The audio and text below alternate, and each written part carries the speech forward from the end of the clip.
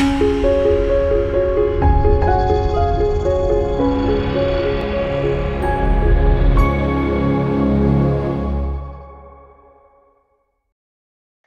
welcome to RCTech. Um, good morning, good afternoon, good evening, wherever you are in the world watching this video. I really appreciate that.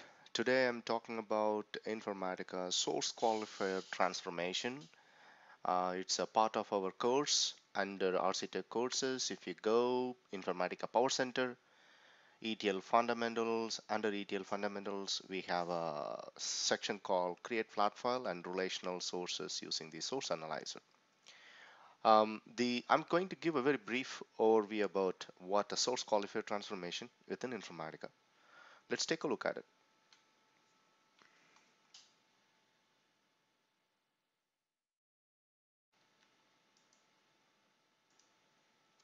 Uh, this is a typical and Informatica mapping, right?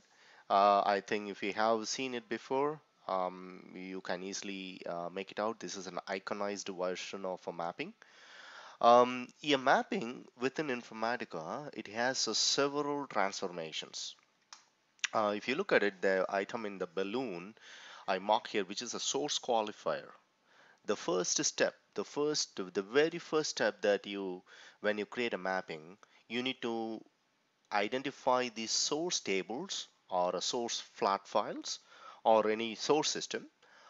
Then the first transformation that you need to create in a mapping is a source qualifier transformation followed by the data flows like an expression transformation, filter transformation, aggregator, lookup, router transformation, update strategy transformation, and the last one is the target. So the first step is a source qualifier transformation. A source qualifier transformation is uh, it's an active transformation and is a connector transformation. What is an active? In Informatica, the transformations there are two varieties. One is an active, another one is a passive. Active meaning the incoming data can be changed, can be altered by this transformation any transformation which alters the incoming data flow, we call it an active. It represents the source record set queried by the server when it executes a session. It is a mandatory in mappings using relational or flat file sources. The source could be either relational or flat file. Whenever you add a relational or a flat file definition to a mapping, you need to connect it to the source qualifier transformation because that is the transformation which is an active transformation that helps to alter or massage the data or identifies the data flows where it should go. And if you can apply filter on it if you can join multiple tables apply the joins apply the filter you could do all kind of customization. Because that's why we call it an uh, source qualifier transformation is an active transformation you apply all the business rules within that and eliminate the the major I mean um, the performance issues by applying filters on the transformation. The source qualifier transformation comes automatically when you get a source table in a mapping. As soon as you identify a table, when you invoke the source tables in Informatica Mapping Designer, the source qualifier transformation created by itself per, per source table. The transformation data types. The source qualifier transformation displays the transformation data types. It matches with the source data types to the closest to Informatica compatible data type. You know what I mean? Basically, it's a number. Here we call it as a decimal. So it is a mapping to an exact, not exactly the same data type that's been uh, created in uh, relational tables, for example, Oracle may have different data types, whereas in Teradata it could have a, an additional or modified way of uh, creating a same data types. But in when it comes to Informatica world, Informatica creates a data type which is closest to what the source system has. If it doesn't match which the DB type, the mapping will become invalid when you save it. So you got to be very careful when you apply when you when you make changes to the source qualifier data type make sure it should match exactly or close to what the source database table structure is. And each source qualifier starts with a single data stream, meaning it comes from the data stream and from the source qualifier you can channelize to multiple targets or multiple transformations. So this, if you look at the, the prior diagram, the Informatica mapping, the source qualifier here, the data flow, it goes into one single transformation in our scenario right? But here if you look at here this is it, this section after the router transformation it helps to channelize the record into multiple data flows. Similarly in the source qualifier the transformation can send rows to more than one transformation split one data flow into multiple pipelines that's what we are talking about here two or more data flows can meet together. It depends upon the business case or business requirement. A source qualifier transformation, what are the properties? The moment when you when you double click a source qualifier transformation in a mapping, it opens up this dialog box where it has some multiple tabs like uh, uh, transformation, ports, properties, sources, metadata extensions.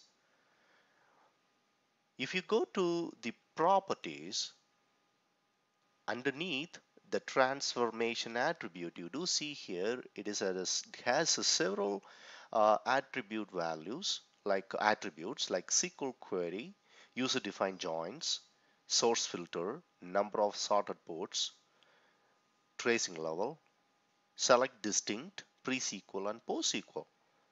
That's why we call this transformation is an active transformation because we apply the business rules within the transformation that potentially alter the number of records that we get from the source.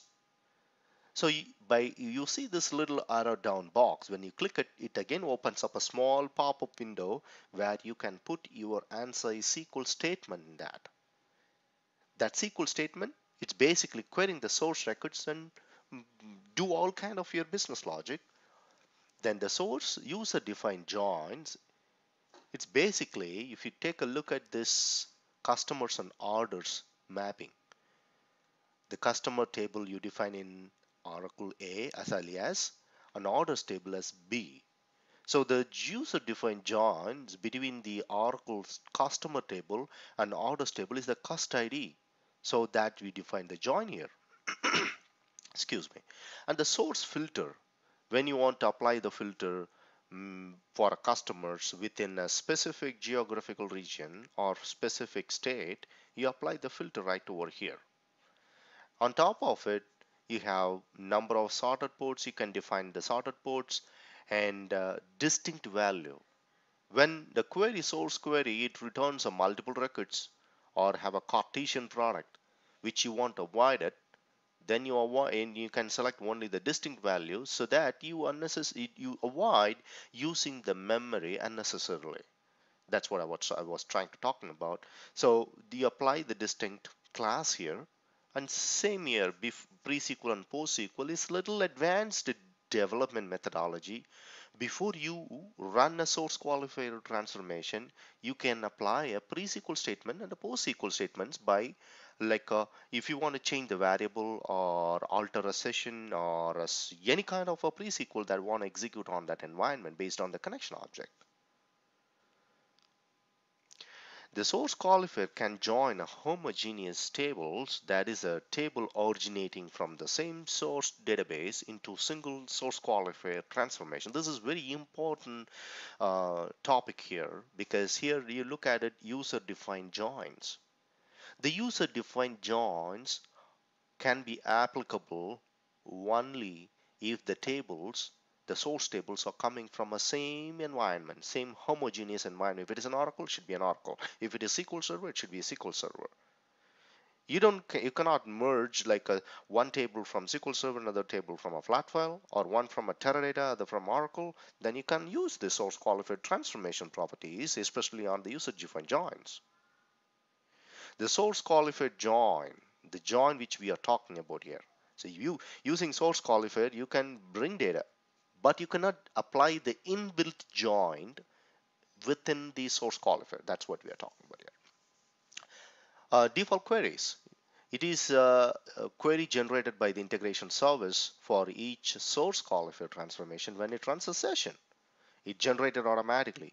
If you go back to this record uh, in this uh, uh, transformation attribute, you, you don't need to filter, fill the value of the source qualifier every time. Only if you want to make any changes to an uh, incoming data or when you want to manipulate the data coming, then you you fill enter the value of the source query. Otherwise, you don't need to do it. The source qualifier transformation it automatically generates. That's what we are talking about here. Select customers, customer ID, customer's company, customer's first name from customer table. This is the source qualified query generated. And here you see the uh, connect to database. You specify the database in a connection object, username and password. It generates the SQL statement automatically through the integration service. Integration service, if you have watched my prior videos, it is a it is a service within Informatica platform. Now the last one is a source qualifier transformation joins. The first join is a default join. The columns in a default join must have a primary key foreign key relationship like a master child and matching data types. Custom joins is specified a where clause like uh, after you invoke if you go back to the prior see this this SQL statement doesn't have any where clause but if you want to apply a where clause by filtering records directly within that uh, custom SQL statement you can apply it you add a where clause here. The columns don't have a primary key foreign key relationship. If you want to apply um, um, uh, rules, then there are certain conditions that you need to follow that the columns don't have a primary key or a foreign key relationship. Data types of columns used for the join, they don't match. Different types of joins to be specified such an outer join. So if you want to add more functionality to your uh, SQL statement, you could do a custom join option. What is a custom join option here? It's basically uh, you apply the var clause right over here. Creating key relationship, primary key and foreign key relationship exist in the metadata only. So you don't need to worry about that. And uh, heterogeneous join, the example which I was talking about, um, a table from customer from SQL Server, customer another uh, orders from a flat file, or the customer table from Teradata, or the orders table is from Oracle. If you want to do it, uh, the joiner, the uh, source qualifier transformation join property cannot be used, but using a joiner transformation in Informatica, you can apply that joins even though the source are from a different different environment. And thanks for watching this video. I really appreciate that. Talk to you soon. Take care.